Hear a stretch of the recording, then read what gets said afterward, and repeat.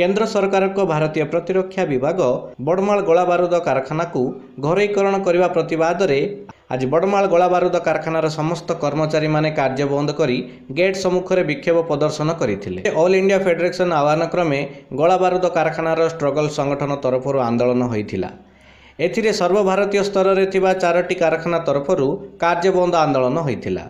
ସକାଳ ଆଠ ଘଣ୍ଟା ସମୟରୁ କାରଖାନାର ସମସ୍ତ କର୍ମଚାରୀମାନେ ଫ୍ଲାଗ୍ କାର୍ଡ଼ ଧରି ସରକାରଙ୍କ ବିରୋଧରେ ନାରାବାଜି ଦେଇ ପ୍ରତିବାଦ କରିଥିଲେ। ଯଦି ଦାବି ପୂରଣ ନ ହେଲା ଆସନ୍ତା ସେପ୍ଟେମ୍ବର ମାସ କୋଡ଼ିଏ ତାରିଖ ପର୍ଯ୍ୟନ୍ତ ଆନ୍ଦୋଳନ ଚାଲୁ ରହିବ ବୋଲି ସଂଗଠନ ତରଫରୁ ଚେତାବନୀ ମଧ୍ୟ ଦେଇଛନ୍ତି।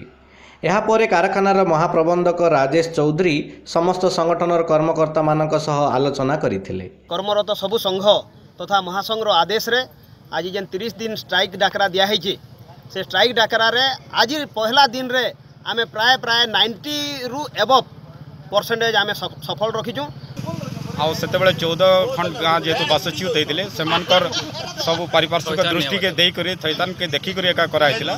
ଆଜି ଯଦି କର୍ପୋରେସନ୍ କରାଯିବା ତାହେଲେ ଇ ଏରିଆର ଯେନ୍ ଡେଭଲପମେଣ୍ଟର ଯେନ୍ ସୋଚ ରଖିଥିଲା ସରକାର ସେଟା ନେଇ ହୁଏ। ସମସ୍ତେ ଯଦି କର୍ମଚାରୀ ବି ଛୋଟେ ହେବେ ନିୟର ବାଇ ଯେତେ ବି ରହିଲେ ଆମର ଦୋକାନୀ ରହିଲେ ଆମର ବାକି ଗାଁ ମାନେ ବି ଯେନ୍ଟା ଏଥିରେ ଚଳୁଛନ୍ ସେମାନେ ବି ତାଙ୍କର ଚାକିରି ହରାବେ ସେ ଗ୍ଲୋବାଲ ଇଣ୍ଡିଆରେ ଯେନ୍ଟାକି ଏକଚାଳିଶଟା ଫ୍ୟାକ୍ଟ୍ରି ଅଛି ସବୁ ଯାକ ସେ କର୍ପୋରେସନ୍କେ ବିରୋଧ କରୁଛୁ ଆଉ ଆଜି ହେଲା ଫାଷ୍ଟ ଡେ ଏଇଟା କଣ୍ଟିନ୍ୟୁ ରହବା ଆଉ ଯଦି ସରକାର ମୁଣ୍ଡ ନାଇଁ ନୁଆଲା କି ପଲିସିରେ ଯେନ୍ଟାକି ଆମର ଗଭର୍ଣ୍ଣମେଣ୍ଟ ପଲିସିରେ ନାଇଁ ରହେଲା ଆମେ କଣ୍ଟିନ୍ୟୁ ମାସେ ଯାକ କରମୁ ପ୍ରଡକ୍ସନ୍ ବନ୍ଦ କରମୁ ଆନ୍ଦୋଳନରେ ରବୀନ୍ଦ୍ର ମିଶ୍ର ସଞ୍ଜୀବ ବଗର୍ତ୍ତୀ ବୀରେନ୍ଦ୍ର ପ୍ରଧାନ ଜୟ ସିଂ ନାୟକ ପ୍ରଶାନ୍ତ ବେହେରା ଭରତ ମାଝୀ ଛତ୍ରିଆ କୁମ୍ଭାର କେଦାର ବାରିକ ମନୋଜ ଗୌଡ଼ ହରିହର ସିଂ ଅରୁଣ ପଟେଲଙ୍କ ସମେତ କର୍ମଚାରୀମାନେ ସାମିଲ ହୋଇଥିଲେ।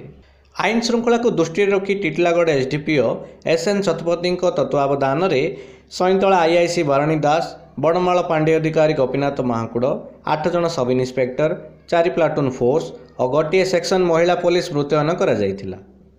ଆସନ୍ତାକାଲି ପୁଣି ଆନ୍ଦୋଳନ ହେବ ବୋଲି ସଂଗଠନ ତରଫରୁ ଚେତାବନୀ ମଧ୍ୟ ଦେଇଥିଲେ। ବଲାଙ୍ଗୀର ଜିଲ୍ଲା ସଇଁତଳାରୁ ପ୍ରମୋଦ କୁମାର ଶେଲମାଙ୍କ ରିପୋର୍ଟ ଉତ୍କଳ ଖବର।